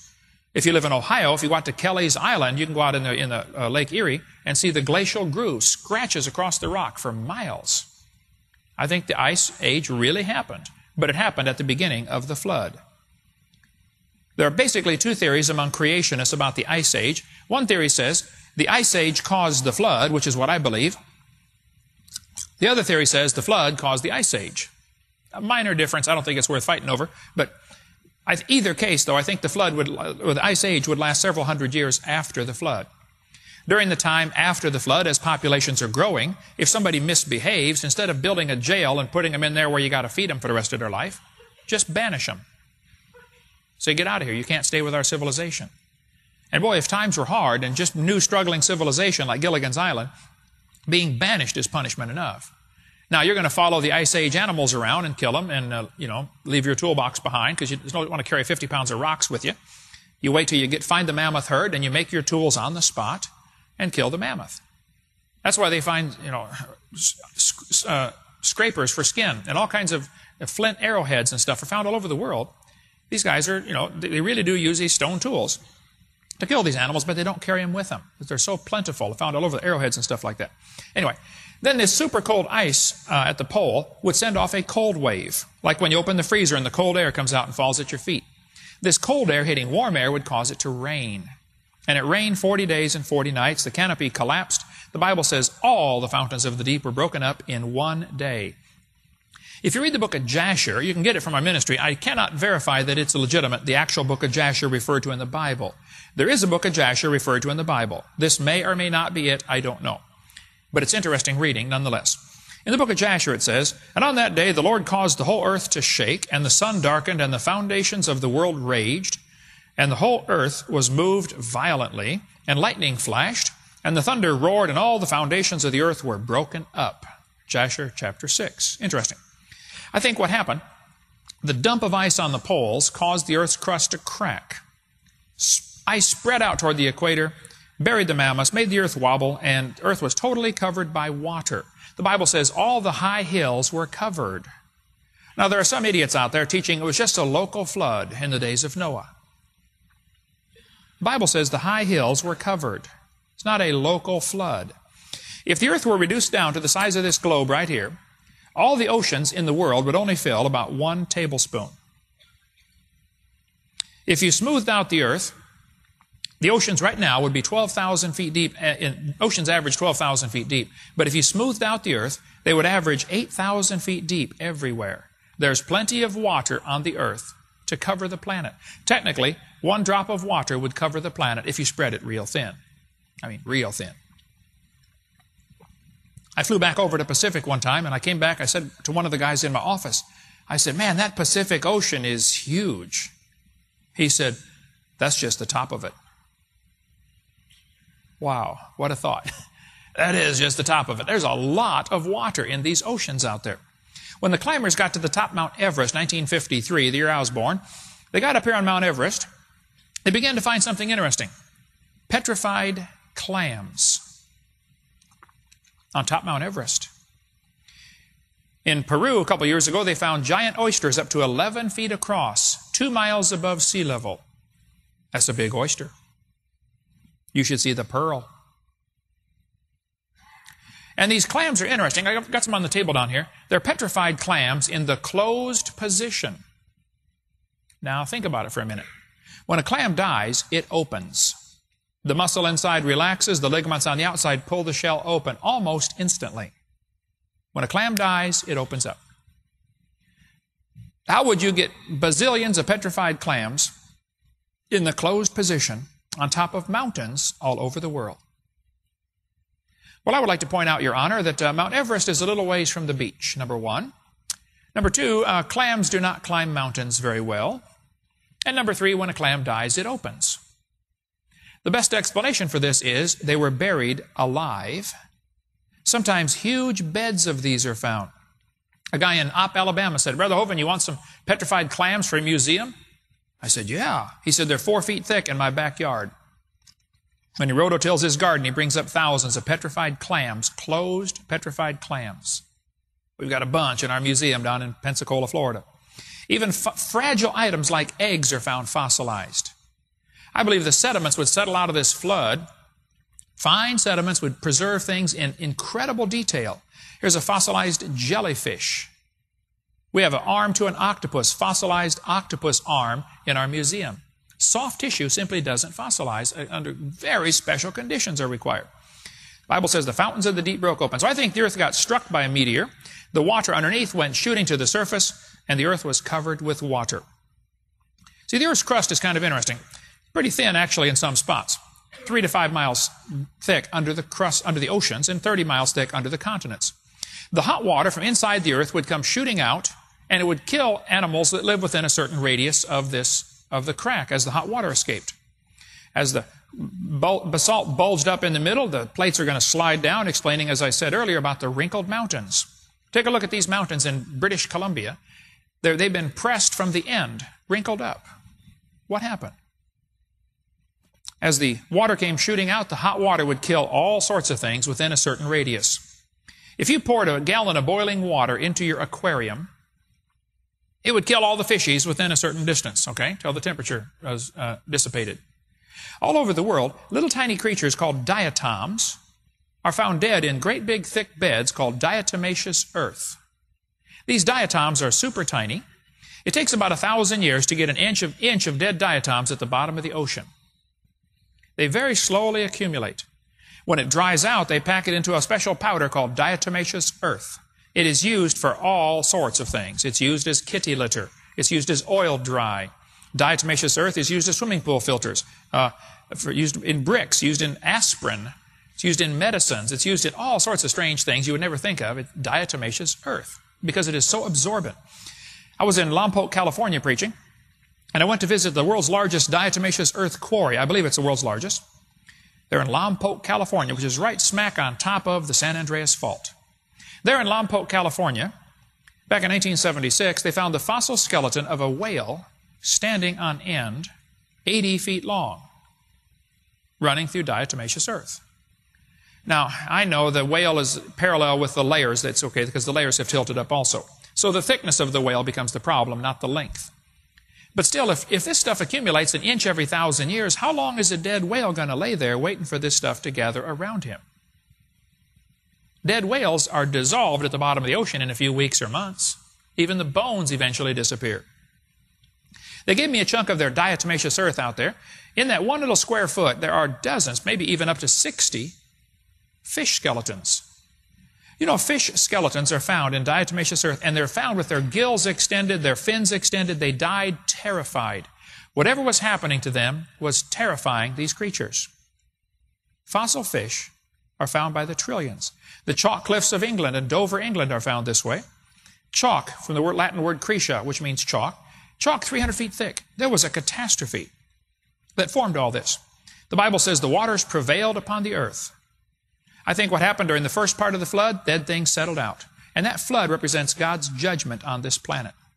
Point number five of the Hovind theory is during the first few months of the flood, the dead animals would settle out. People ask, why aren't more human fossils found? Well, humans are smarter than animals. Some humans are, and some animals. And they would tend to avoid drowning till the last possible minute. Animals that are buried on top or very, very shallow soil are not going to fossilize. Think of all the millions of buffalo that were killed out west in the last few hundred years. None of them fossilized because they weren't buried. So fossils only form if an animal is buried pretty deeply and pretty quickly before it has time to decay. Marvin Lubenow says about 4,000 sets of human remains have been found. Uh, I think there are few, fewer humans than animals found fossilized because they were smarter and would avoid drowning till later in the flood, and therefore they're not going to be fossilized. We cover more on that in video 7. The trees that are uprooted would float around in big log mats the size of Texas. They're going to be buried and become the coal seams that we see today. Moving water does some very interesting phenomena. As water is moving, it automatically sorts things. It can form five or six layers simultaneously. There's a good videotape called Experiments in Stratification that shows the top strata can actually be older than the bottom strata. If, if the water's moving, it forms multiple layers simultaneously. Moving water does some strange things. How many of have ever seen those things you buy at the store with two pieces of glass and different colored sand in between? And when you flip it over, it forms all these layers real quickly, okay? It doesn't take a long time. Stratification can happen very quickly. Underwater landslides, like the one we saw in Indonesia in 2004, can cause, uh, it's called a turbidity current. They can do enormous damage underwater, causing tsunamis on the surface, which kill 250,000 people. In 1929, there was an underwater landslide that traveled 70 miles an hour, cut two transatlantic cables. That one landslide covered 40,000 square miles. That's about the size of Ohio. One landslide underwater. As the, during the flood, the water would be swirling around, and the dead animals would tend to, you know, get caught in these little swirls called eddies. This happens today. If you walk along the river, you see the river moving one direction, but along the sides there's little eddies swirling water. This would happen on a global scale during the flood of Noah. As the animals would float around for a few weeks, they would rot, and their head falls off, and tail falls off, and legs fall off. And when they finally get buried, you end up with tangled up messes of dinosaur bones. Notice these backbones here have no head attached, no legs, just the backbone. Underwater landslides do enormous damage, and surface uh, animals buried on the surface under mud can be entangled up messes. Fossil graveyards are very common all over the planet. They found a uh, concentration of fossils like logs in a log jam. If you go to um, San Jacinto Monument in Texas, where Santa, uh, Santa Anna finally met his, met his match when the Texans caught up with him, the whole monument is made out of fossils. I mean, you look at the blocks of rock, it looks like great big blocks of stone, and they are. As you get up closer, there are bazillions of little tiny fossils in them. There's uh, four animals that are found fossilized in the swimming position. Their head held up high out of the water. I believe they probably got caught in the mud as the water settled, as the mud settled out of the water, and they drowned or died in the swimming position. In one place in Africa called the Karoo Formation, they said there are 800,000 million skeletons of vertebrate animals. A lot of animals died at one time. They found iguana skeletons in a, uh, iguanodon skeletons in a Belgian coal mine extending through 100 feet of rock in the vertical position. Hmm. Up in Canada on Axel Island, they find petrified redwood stumps. You can go to Axel Island. There are no trees on Axel Island. There are certainly no redwood trees growing there. How do we get fossilized redwood stumps on Axel Island? People say, well, hey, doesn't it take millions of years for things to petrify? No, things petrify quickly. There are scores of examples can be given where things have petrified in less than 100 years. Okay? Two horse hoofs were found petrified in Oregon. A petrified water wheel shown here in this picture. Just the minerals replaced the wood. Here's petrified firewood. Here's a fishing reel stuck in a rock. It said the rock was 300 million years old. By the way, if any of you students want to make some money, University Chattanooga, Tennessee, University of Tennessee at Chattanooga, studied this thing talked to the guy who owned it and analyzed the whole thing and said, man, this is amazing. A reel stuck in a rock. If you can locate the owner of the reel and get me in touch with him, I want to see if he wants to put it on loan in our museum. And anybody who can find me, the owner, uh, Dan Jones, find me the guy, get me his phone number, and let me talk to him. I'll give you 50 bucks. For find, do some research if you're sleuths up here in Tennessee, you want to work on that one. UTC geology experts can't fi- explain this. Why? How could a fishing reel be found in rock? If you go to Waycross, Georgia, they've got on display there at the Southern Forest World a mummified dog stuck in a tree. The dog apparently chased a coon up the tree and got stuck, and the dog is mummified. The tree was still alive. They named the dog Stucky. Here's a petrified cowboy boot with the cowboy's legs still in it. Articles on the table down there called the Limestone Cowboy. Here's a petrified fish giving birth. Here's a petrified hammer found in Hawaii. A petrified hat found in New Zealand. Petrified crayon found in Arizona. Petrified pincushion found in Wisconsin. A guy got found along the, uh, a beach in Montana, uh, was petrified, petrified man. Here's a story about a petrified man uh, in Gainesboro, Tennessee. The guy died in 1881. They buried him. 14 years later, they were going to bury his wife next to him when she died. They dug a hole for Grandma's grave, and water seeped into the hole, into the grave. They said, Oh, we don't want to bury Grandma in the water. So they buried Grandma someplace else. Then the kids got worried about Grandpa buried in the, in the water. So they dug up the grave. The body inside had turned to stone, except the arms had rotted off. The rest of the body had petrified in 14 years in a coffin in Tennessee. The man found in Fort Benton, Montana, was in 1897, found by Tom Dunbar. The guy was five foot eight. Many medical doctors examined it, said, man, this is a petrified, complete human. Not the bones, the complete person, petrified. A lady in Sao Paulo, Brazil was 62 years old. She went to the doctor and said, I got a pain in my side. They x-rayed her and found a petrified skeleton of a baby inside. She was pregnant and didn't know it. The baby had died and turned to stone inside the woman's body. It does appear the baby was about to be born, the doctor said that examined her. I talked to a guy from Maryland. He said, Yeah, I drove the ambulance. We took a woman to the hospital one time in Snowden, Washington. There's his phone number there if you want to talk to Brian. She said uh, she was taken. To, he said she was taken to the hospital, and they removed a petrified uh, fetus from this woman. It had turned to stone in her body. Here are petrified sacks of flour found in Eureka Springs, Arkansas. Here's a petrified pickle found in Montana. This is in my museum. It was found in this jar. The guy sent it to me. He said, Brother Hovind, I found a petrified pickle inside a jar. The lid rusted off. Would you want it for your museum? I said, Of course. Who in their right mind would not want a petrified pickle for their museum. There's a petrified toadstool just south of Bloomington, Illinois, in an amazing museum called the uh, Funk Gem and Mineral Museum in Shirley, Illinois. If you ever drive out there, stop and see that place. A kid, this kid in the picture here sent me these petrified acorns. He's seven years old. He said, Brother Hovind, I put these I put the uh, acorns in a bucket of water, hoping they would sprout, and I forgot about them.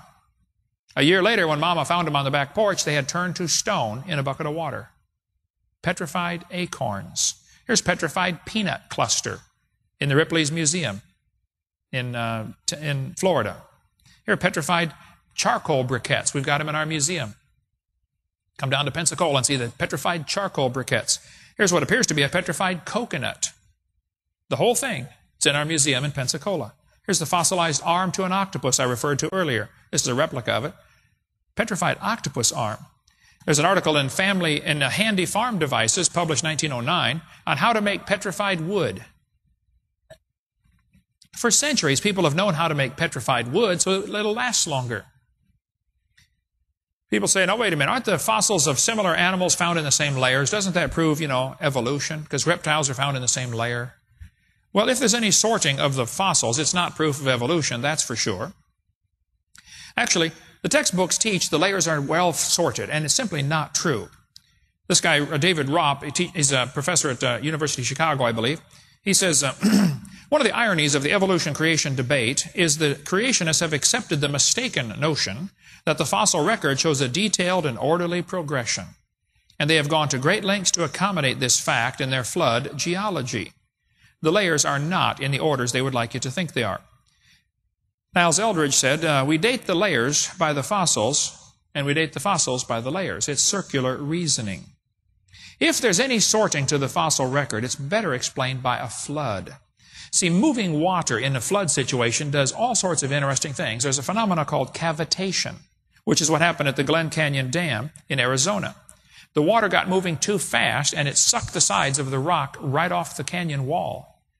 Within just about 20 seconds, it made an area the size of a basketball court, four feet thick, four feet deep, sucking rocks right off the side because of cavitation. There's another phenomenon called hydraulic plucking.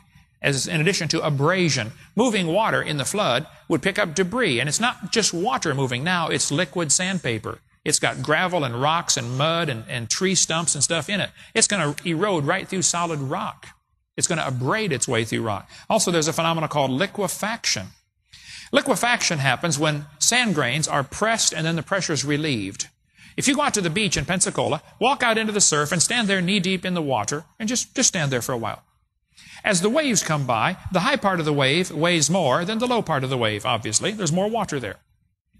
So the high part of the wave pushes down on the sand under your feet. When the low part comes past you, the pressure is relieved, and sand grains start hopping up off the bottom as the water squeezes out of them. This phenomena is called liquefaction. What would happen in a worldwide flood, as the earth is turning under the moon, you would get tides that would go up and down about 200 feet. A 200 foot tidal change every 6 hours and 25 minutes. So the liquefaction would be incredible worldwide because of this flood. It would raise the water 200 feet, which pushes on the sediments, and then the pressure is relieved, which causes all kinds of sorting to happen very quickly. One guy took a giant aquarium and he put a hot water bottle in the bottom, a big rubber bladder with a bazillion little holes in it, and he hooked it to a hose. He put this in the bottom of his aquarium, empty aquarium, and then he took a cement mixer and mixed up uh, rocks, gravel, sand, all kinds of stuff, mixed them together, including dead fish, amphibians, reptiles, and mammals. Mixed them all together and dumped them in the aquarium. When he turned the hose on, the aquarium began filling from the bottom as the water's going through this hot water bottle. Well, as it lifts up from the water coming up, it's going to automatically lift things and they're going to fall back down, liquefaction, and they're going to sort themselves by density. He discovered as it filled the aquarium, it sorted everything in the order of birds, mammals, reptiles, amphibians. Well, that's the order they're going to tell you they evolved in. If you just remember the word farm, F-A-R-M, fish should be at the bottom, fish, amphibian, reptile, mammal. That's what the evolutionists will say, how they evolved. No, they're not found in that order, number one. And if they are found in that order, liquefaction or the flood best explains it. There's a whole lot more on that in this book right here by Walt Brown. Also, as some layers are less dense, they get covered up by more dense layers. If the conditions are just right, the less dense layer will all of a sudden shoot to the top. It'll break its way through, and it causes what's called, what's called a sand plume. These sand plumes can harden, and probably Ayers Rock in Australia is a giant sand plume, best explained by the flood. If you look at these sand plumes closely, you'll see they have air bubbles all over them. That was the air. The tunnels all over them. That was the air coming out. And during an earthquake, the ground can shake and the water in the ground comes to the surface and the top of the ground can become like soup. There was an earthquake in Japan that sank these buildings. The buildings actually sank into the ground because of the phenomena called liquefaction. Water coming to the surface, settling all the sand grains are all loose, almost like quicksand. Evolutionists will say, Hovind, don't you know the birds are found on top? That proves birds evolved last. And clams are found at the bottom. That proves clams evolved first. I say, well, there's a better explanation. You know, maybe clams are found at the bottom because of their habitat. You know, that's where they live. A clam would be the first one buried in a flood. I mean, he's already at the bottom. Hello. A bird's going to be the last one buried because he can fly around till he runs out of gas. Maybe they're sorted based upon their intelligence. As far as anybody can figure out, you know, clams are not too bright. Maybe they're sorted based upon their mobility. Clams cannot run very fast. Maybe they're sorted based upon their body density. Clam shells are heavier than bird feathers. So the sorting of the fossils, if there is any, is not explained by evolution. It's much better explained by a flood. The Bible says the whole earth, the whole world was covered. All the high hills were covered. The mountains were covered. Then the waters assuaged, which means to drop down. NIV says the waters receded. No, no, no, they didn't recede, and they weren't wild animals. NIV got it wrong twice in that verse. They were all perfectly tame animals the, during the flood. But the waters didn't recede, the waters assuaged. The Bible says the waters stood above the mountains. Psalm 104, verse 5 and 6. Hugh Ross teaches it was a local flood in the days of Noah. Uh, excuse me, 15 cubits above the highest mountain and it's a local flood? I'd like to see that happen. When I debated Hugh Ross, I said, Dr. Ross, do you believe in a worldwide flood in the days of Noah? He said, I believe in a universal flood. Well, that is just a deceitful answer, okay? I said, what do you mean a universal flood? He said, well, it flooded Noah's little universe. Just, it flooded the valley that he lived in. I said, would you answer a question then for me, please? If it's just a local flood that floods Noah's valley, why would God tell Noah to build that huge boat and fill it full of animals and stay in there for a year? Why not tell Noah to move? This local flood idea is dumb. Capital D, dumb. Okay. People say, well, if the world's covered with water, where did it all go? Okay. During the last few months of the flood, the unstable plates of the crust of the earth would begin to shift and some places would sink down. Thin spots would sink down, other places lifted up. The water's going to rush off and fill in the hole very quickly, causing erosion very quickly. The Bible says in Psalm 104, At thy rebuke they fled. This is talking about the water. At the voice of thy thunder they hasted away. The water rushed off. They go up by the mountains, they go down by the valleys unto the place which thou hast founded for them, which is the oceans. What happened was, the mountains lifted up, the water rushed off into the new low places. If we filled this auditorium four feet deep in water, preacher would be upset, I'm sure, but let's just do it for a science experiment for the good of science. We're going to fill the auditorium four feet deep in water. Then we're going to get all the guys in the school to pick up that end of the building. They pick up that end. All the water is going to rush down, whoosh, over to this end of the building. It's common sense. If the earth were covered with water and some places began to sink down, other places are going to lift up. It's kind of like a water bed. How many have ever slept on a waterbed before? You know, my wife is only five feet tall. When she gets sound asleep on the side of a waterbed, I don't like waterbeds. we don't have one, but I've slept on them a couple times. You wait till she's sound asleep on her side. I tiptoe in, stand up on a chair, and jump up as high as I can, sh- boom, and land on my side of the waterbed.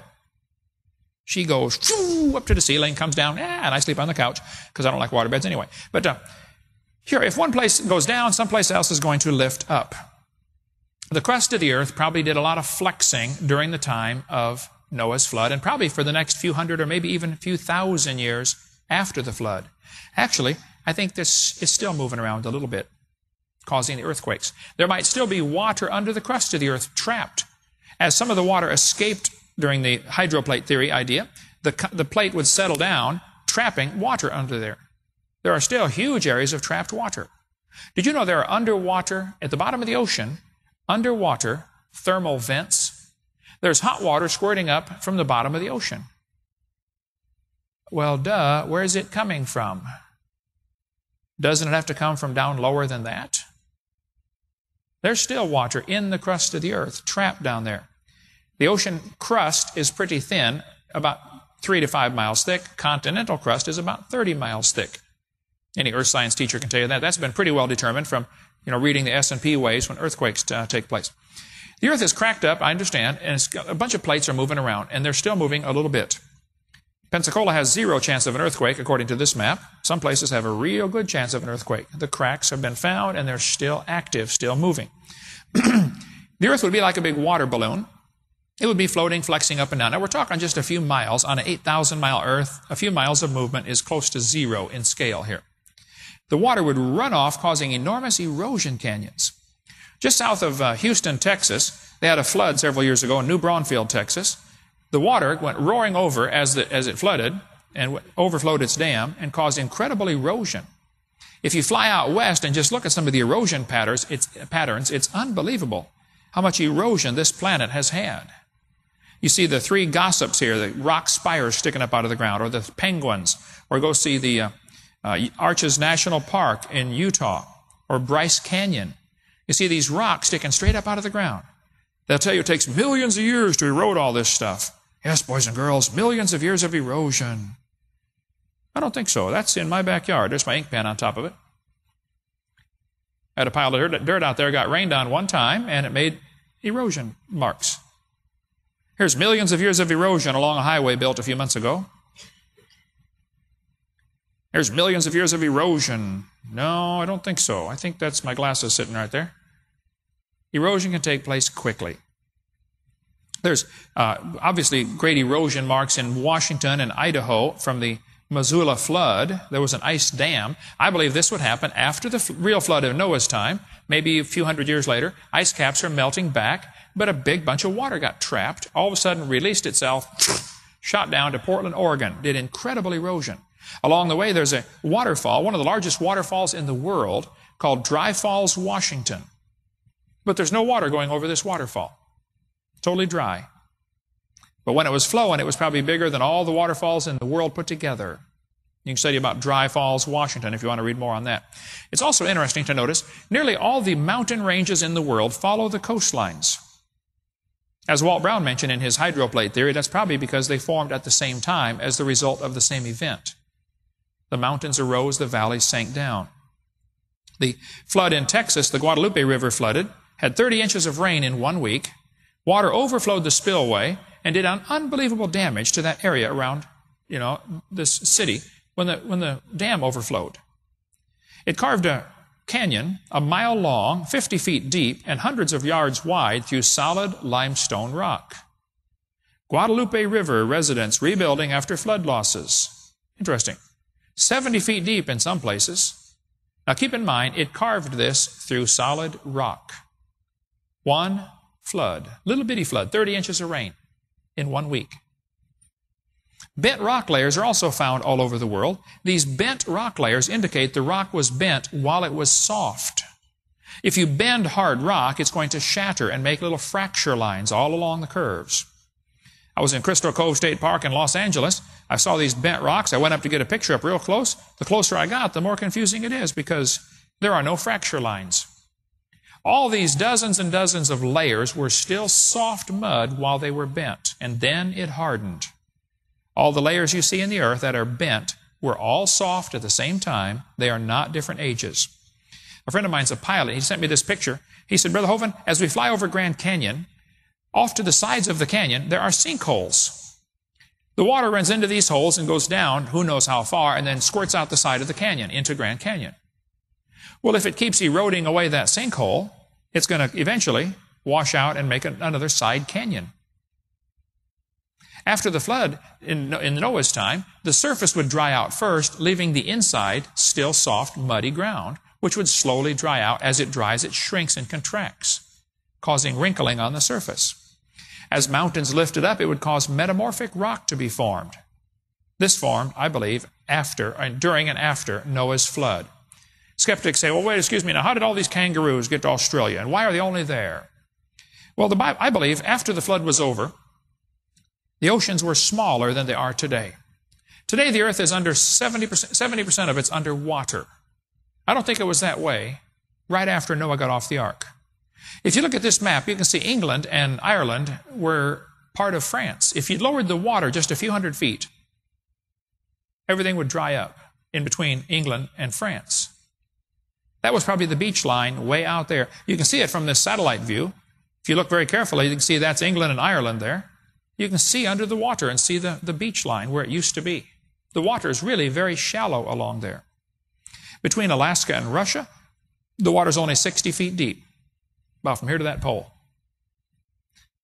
60, if you lowered the oceans 60 feet, Russia and Alaska would be connected. If you raised the oceans, America, all of Central America would flood. If you raised the oceans just, just 10%, this is what America would look like. One little island over in Appalachia and all the Rocky Mountain area, and that's it. All of central United States would be flooded. Did you know Chicago is only 600 feet above sea level? 600 feet.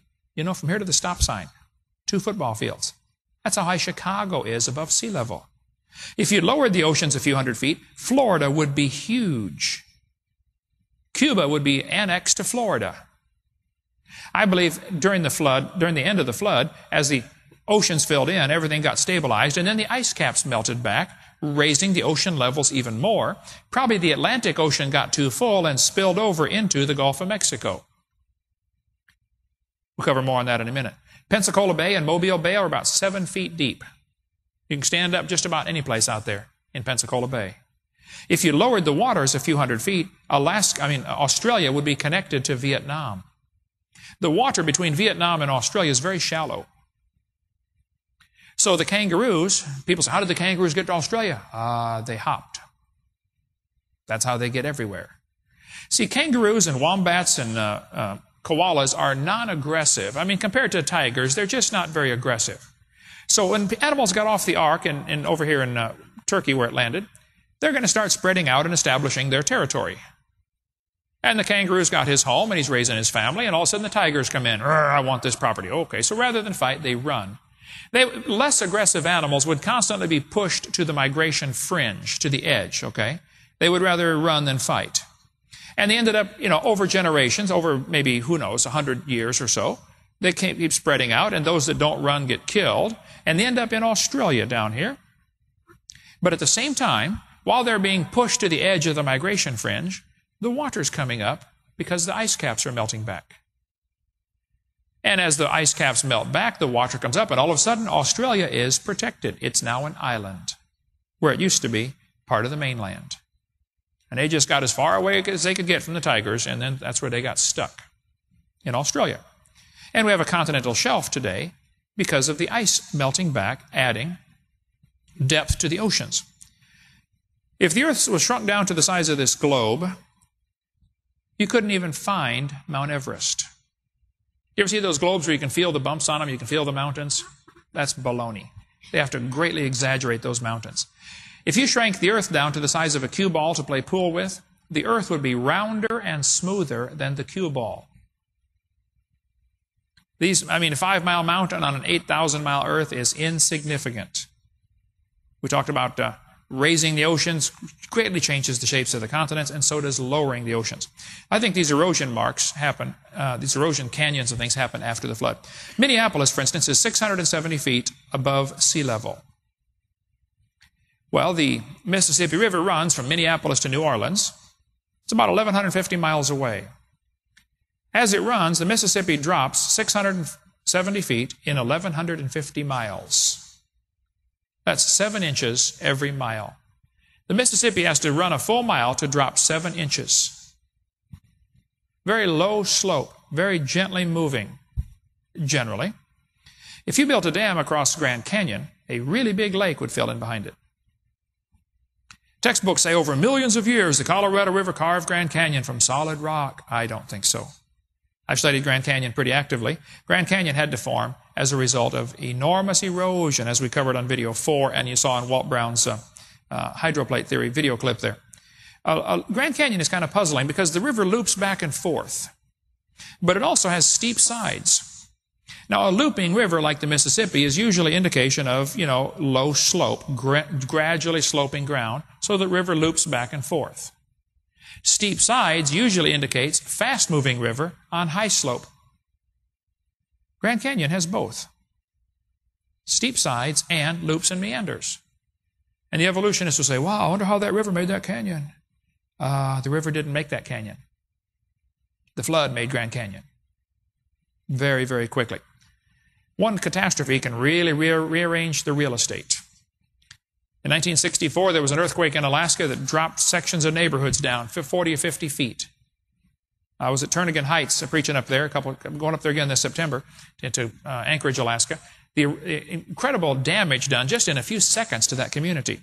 When Mount St. Helens blew its top, the whole north side of the mountain slid down into the valley. My sister lived up near there when it happened. This uh, whole top of the mountain slid off to the side, uncorked the volcano, and steam and ash came shooting out of the volcano at about 100 miles an hour. This ash cloud covered the countryside. My sister got about six inches in her yard. 60 some people died as a result of Mount St. Helens blowing all this ash and steam all over the neighborhood. Some of the ash landed in New York City.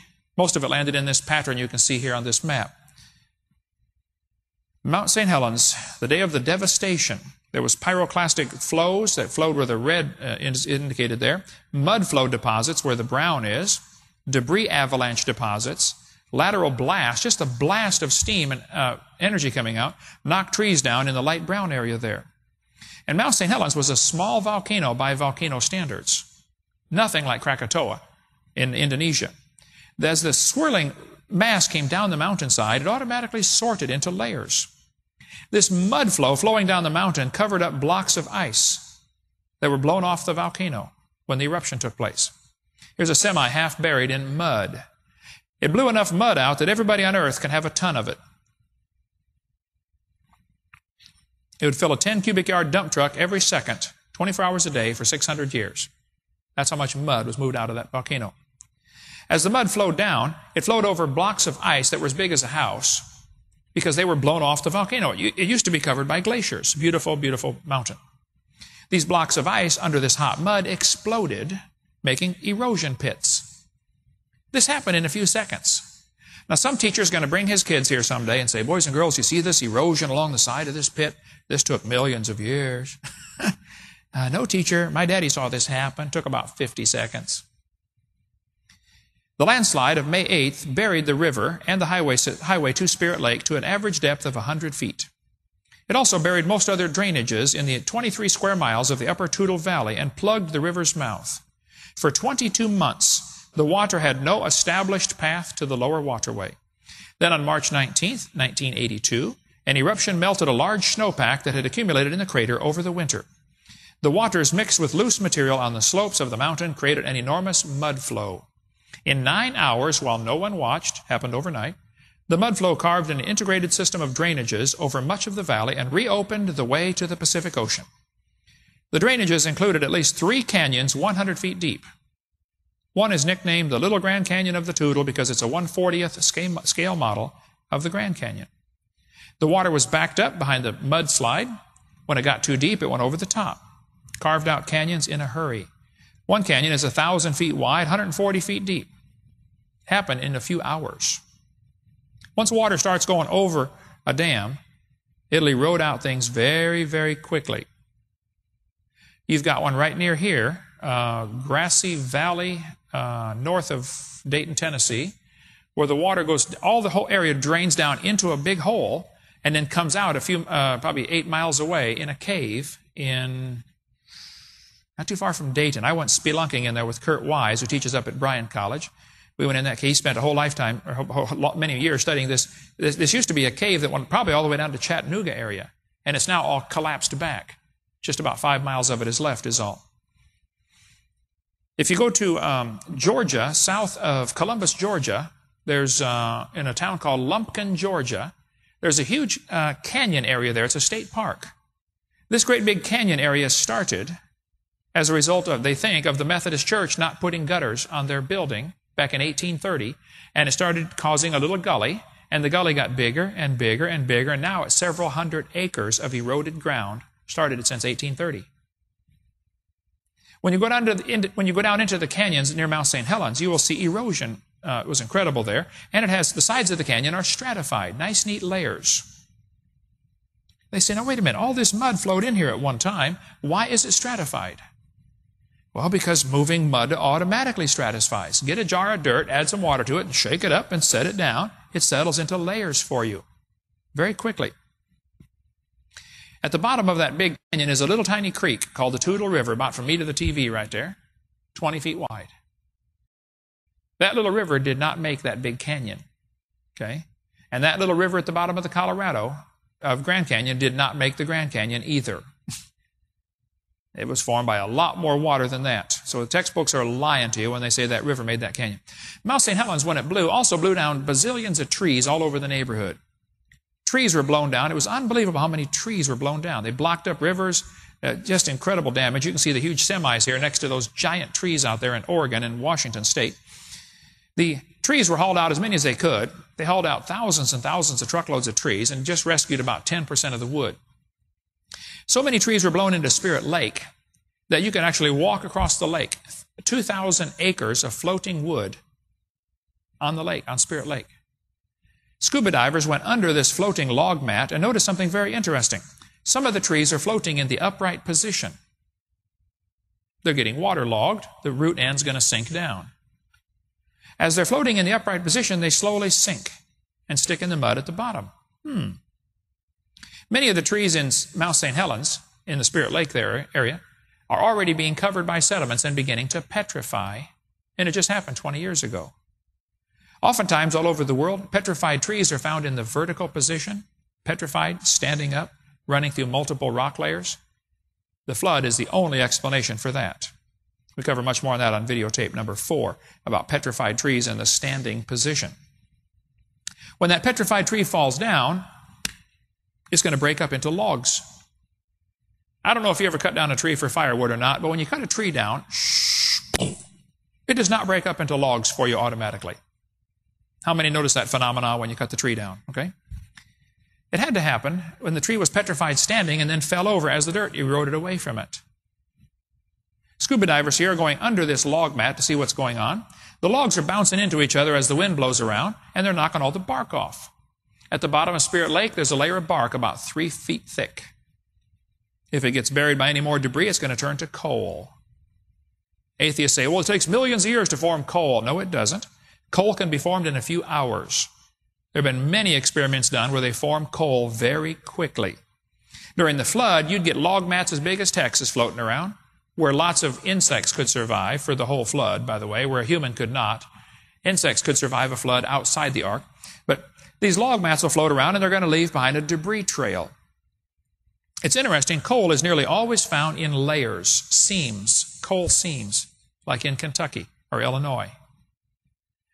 I debated Jeannie Scott, the president of an atheist organization, and she said there are 80 layers of coal in the Midwest. She's right. She said if you look at the amount of coal in the world, the entire biomass or all the plants of the world today could not be could not form that much fossil fuel. She's right again. She said, Don't you see there had to be a lot of time to make all this coal? No, she's wrong about that. What there were was big log mats floating around during the flood. They would drift back and forth with the tides and the wind, and they would leave behind debris trails separated by sediments, and then debris trails of, of logs and wood and bark. And you can get 80 layers of coal in one flood. There's a coal mine in Montana. The coal is 200 feet thick and covering 10,000 square miles. In the roof of one coal mine, they find dinosaur tracks. They're digging out the coal and they look up at the ceiling and there are dinosaur tracks in the ceiling.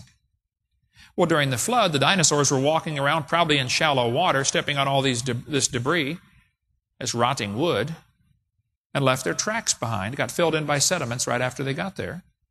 Petrified trees in uh, um, Alabama are standing up running through two different coal seams. Oftentimes, coal seams go, you dig along for a while, and pretty soon they come together. Branching coal seams. Absolute proof they formed very quickly. Not millions of years different in age, okay? This coal mine in Montana was 200 feet thick. Coal. And human artifacts are found in coal from time to time. Here's a bell found inside a lump of coal. Here's a vessel found in solid rock, supposed to be 600 million years old. A lady in Illinois broke open a lump of coal. There's a gold chain inside, 10 inches long. A carved stone found in uh, Iowa in a coal mine. Here's an iron pot found in a coal mine in Oklahoma. Here's the sole of a shoe found in Nevada inside a piece of coal. The Bible says the waters assuaged or sank down, and the waters returned from off the earth continually. If a section of the earth sank down, the water would rush in to fill in the hole, but then it would slosh back and forth for a while. There would be tidal waves going back and forth. The Bible says in Genesis 8, the waters were going and returning. That's the Hebrew phrase halak vashab, going and returning. I believe layers of sedimentary mud were laid out during the flood, and then the mountains arose, the valleys sank down, they would be bent and twisted, and then erosion would take off the surface, depositing more layers on top. That's why we have what's called an unconformity in geology, best explained by Noah's flood. The Bible says the ark rested in the seventh month. Noah didn't get out till the 13th month. Stayed in for six extra months. Why? Well, for one thing, there's nothing to eat outside. Number two, the ground is still muddy, and the water was still going and returning. It's not safe to get out of the boat yet. Probably Noah hit bottom, cut off the anchor stones, and then the ark got picked up and moved a few miles and resettled again by another wave coming back as the waters were going and returning. We cover about the Noah's Ark anchor stones on video number three of our series. And there's nothing outside to build your house with anyway.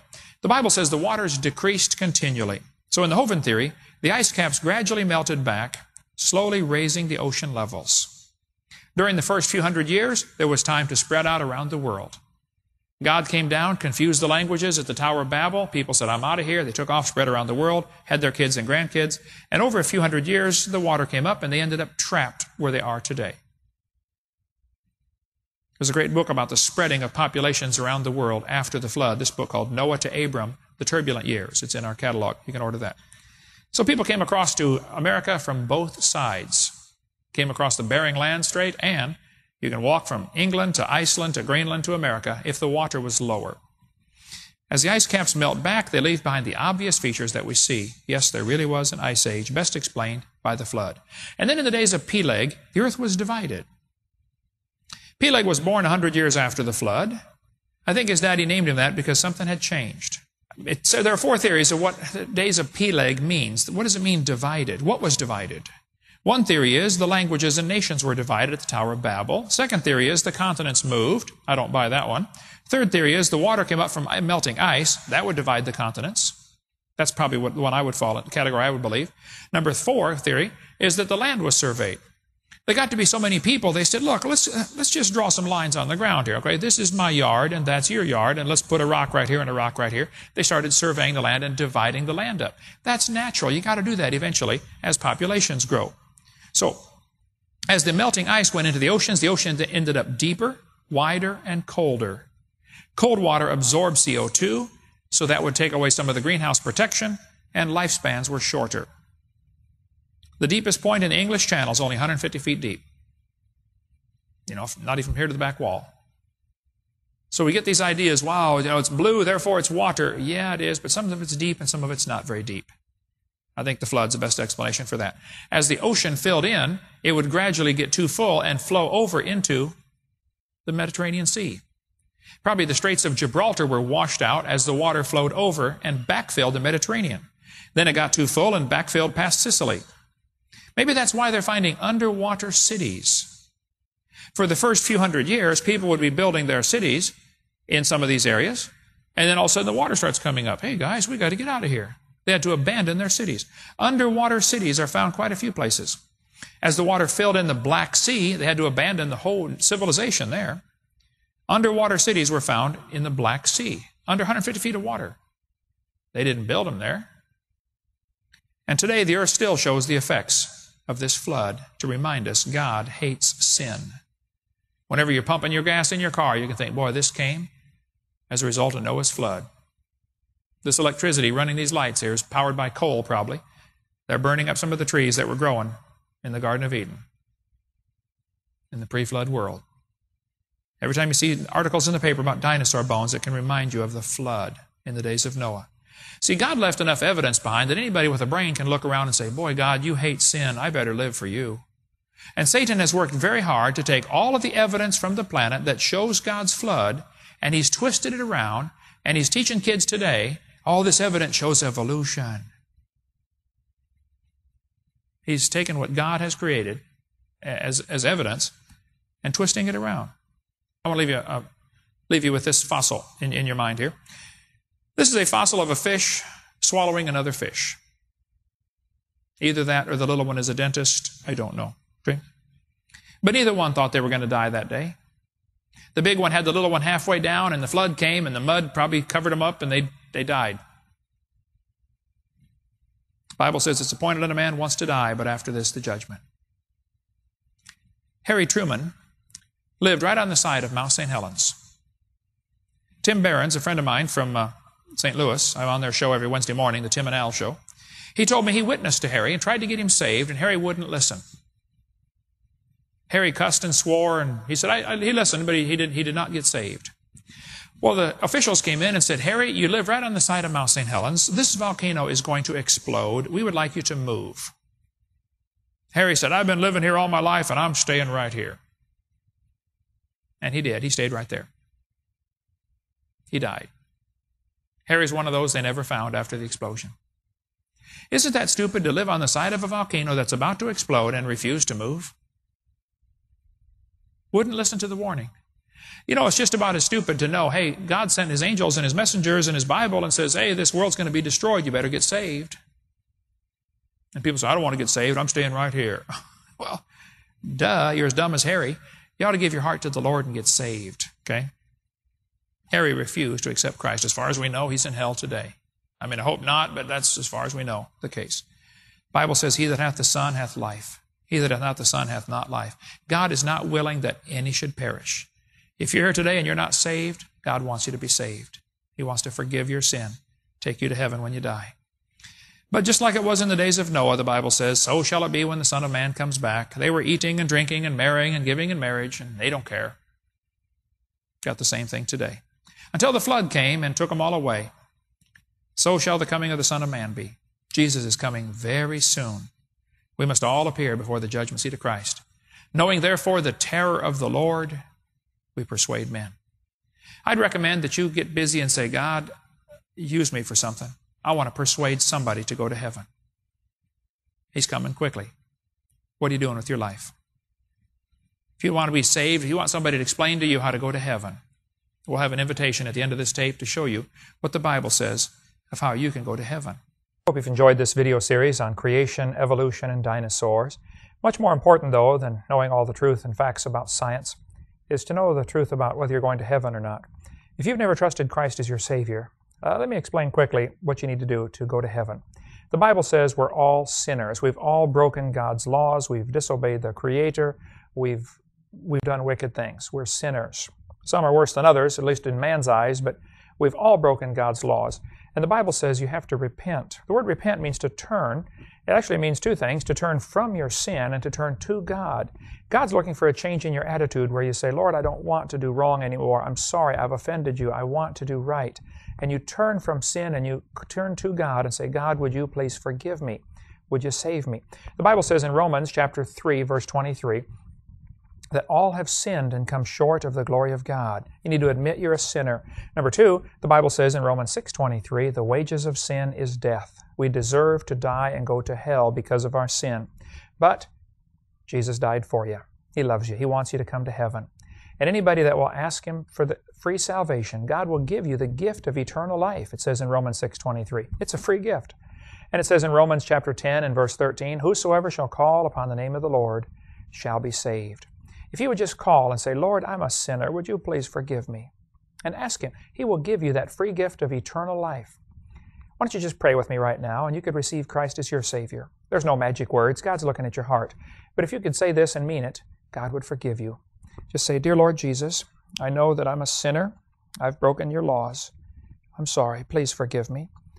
Please apply your blood to my account. Forgive my sins and take me to heaven. In Jesus' name, amen. Bible says, if you call upon the Lord, you shall be saved. So if you've asked the Lord to save you, He promised He'd save you. Now your job is to grow. Read your Bible, pray, get involved in a good Bible believing church, and begin to grow to be a good Christian. Thank you so much. For more information on the ministry of Creation Science Evangelism, write us at Creation Science Evangelism, 29 Cummings Road, Pensacola, Florida 32503, or call us at 850 479 3466 that's 850 479 DINO. You may also visit us on the web at www.drdino.com. That's www.drdino.com.